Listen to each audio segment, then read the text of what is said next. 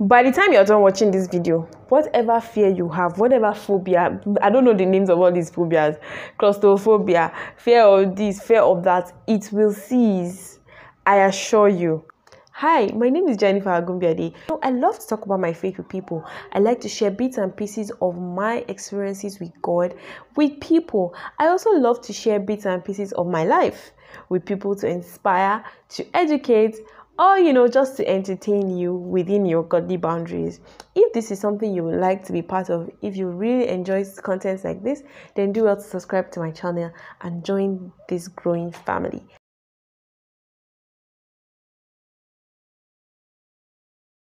Sadly a lot of people are living in fear i mean like extreme fear phobia of this phobia of height phobia of water phobia of talking to public phobia of standing in the midst of people phobia of being around people phobia of walking in public the phobias are numerous you just help me list down some of them if you know them in the comment section right that is not God's plan for us. That is not God's plan for His children.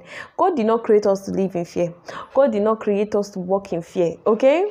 Now, but first of all, let us understand fear. What is fear?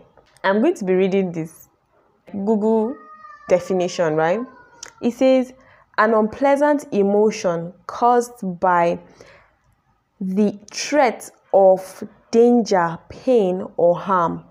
Describes phobia as an extreme or irrational fear or aversion of something. Hmm. Interesting interesting, is it not? Like it or not, these things come up in our lives as we go on about our day-to-day living. See, you're going to be afraid. I cannot. I'm not here to tell you that you're not going to be afraid. Right? No, I'm here to tell you that you can overcome fear. You can rule over fear. Fear can no longer have power over you. Yes, you are scared of go taking on this big bold decision. You're scared of registering for this next course. You know, it seems like a normal thing everybody has one fear or the other. Everybody is afraid of one thing or the other, definitely. Like, I mean, I was afraid of death. Like, literally, every time I go into a cab and I'm traveling, my life is usually in my hand like this.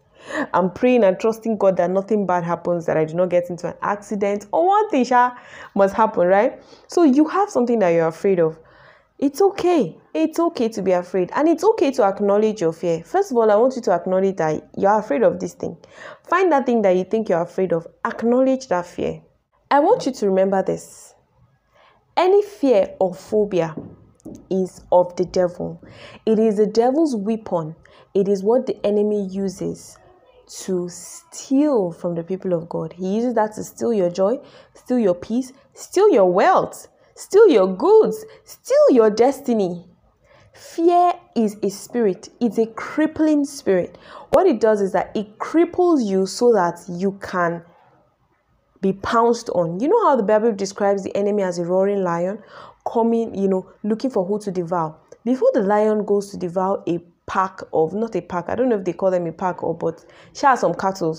What he does is that he roars. And once he rose, those that have strength will run. Those that are afraid will be crippled. Or those that are sickly will be crippled, right? And they will not be able to proceed.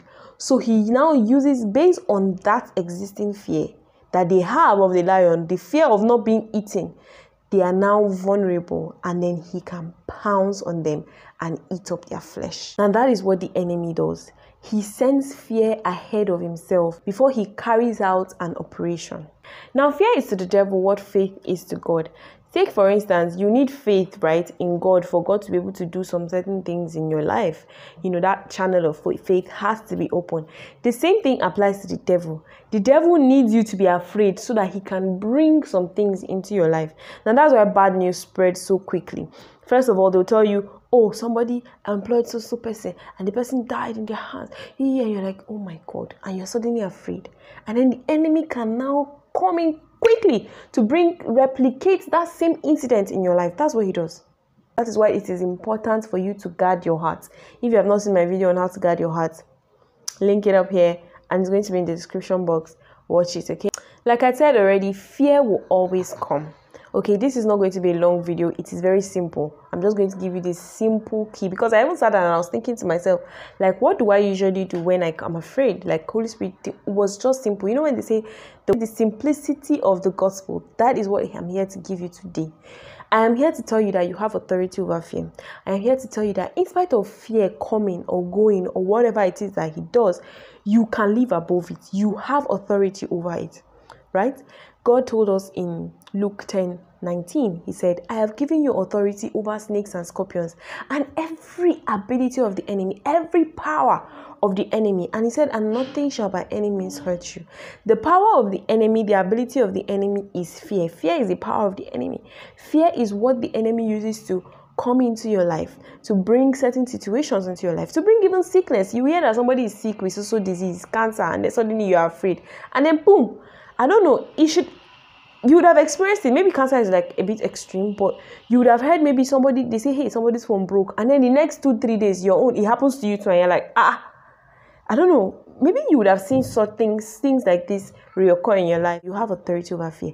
Luke 10 19 is my go to when it comes to dealing with the devil and dealing with fear. So, whenever you have a feeling of fear, whenever you feel afraid, and you know that you want to do that thing, take authority over that spirit. I take authority over the spirit of fear right now in the name of Jesus. And my mind is clear and sharp, and I do what I need to do. That is it. That is all you need to do.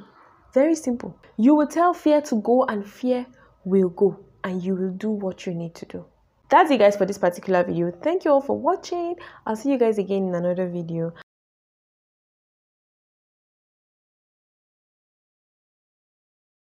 Hi, my name is Jennifer Agunbiade. You're welcome to my channel. Okay, I've already done that. As in, the phobias are no, the phobias I'm here to let you know that in spite of fear, not in spite of fear, I'm here to tell you that you. Can. That's all I'm here to tell you. I hope you stay on to watch another. Uh, I did not introduce myself in this video.